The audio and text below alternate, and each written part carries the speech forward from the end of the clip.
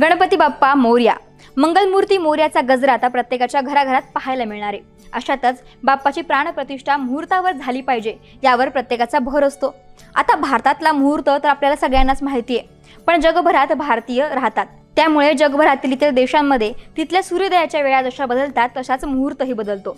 त्यामुळे या व्हिडिओतून आपण जाणून घेऊया की देश आणि तिथल्या गणपतीच्या प्रतिष्ठापनेचा मुहूर्त.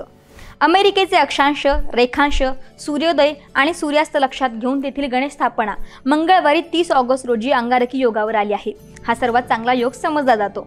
अमेरिकेत हा प्राणप्रतिष्ठा मुहूर्त स्थानिक सूर्योदयापासून ते मध्याह्नापर्यंत साधारण दुपारी दोन वाजेपर्यंत आहे. लंडन रोम आणि आदी युरोप खंडातील सर्वच शहरात सुद्धा गणेश स्थापना ही मंगळवारी तीस ऑगस्ट रोजी अंगारक योगावर आहे. तर मूर्तीची प्राणप्रतिष्ठा मुहूर्त स्थानिक सूर्योदयापासून ते मध्याह्नापर्यंत. साधारण तिथल्या दुपारी पावणे दोन वाजेपर्यंत शास्त्रसंमत ठरणार आहे.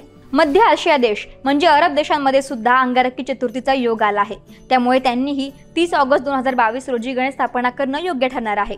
इथे देखील स्थानिक सूर्योदयाच्या वेळेनुसार ते मध्याह्न दुपारी दीड वाजेपर्यंत गणेश मूर्तीची प्राणप्रतिष्ठा करू शकतात. भारताच्या पूर्वेकडच्या देशांमध्ये म्हणजे सिंगापूर ते जपानपर्यंत बुधवार एकतीस ऑगस्टचा मुहूर्त आहे. आशिया सोडून ऑस्ट्रेलियापर्यंत गेलात तरी बुधवारचाच योग आहे. याची नोंद घ्यायला हवी. या देशांमध्ये सूर्योदयापासून तेथील मध्यान्न म्हणजे दुपारी एक वाजेपर्यंत योग आहे. या काळात कधीही गणेशाची प्राणप्रतिष्ठा करू शकतात. तर अशा पद्धतीनं वेगवेगळ्या देशानुसार तिथल्या गणेश स्थापनेचा मुहूर्त आपण पाहिलात. तुम्हाला हा व्हिडिओ कसा वाटला? कमेंट करून जरूर कळवा.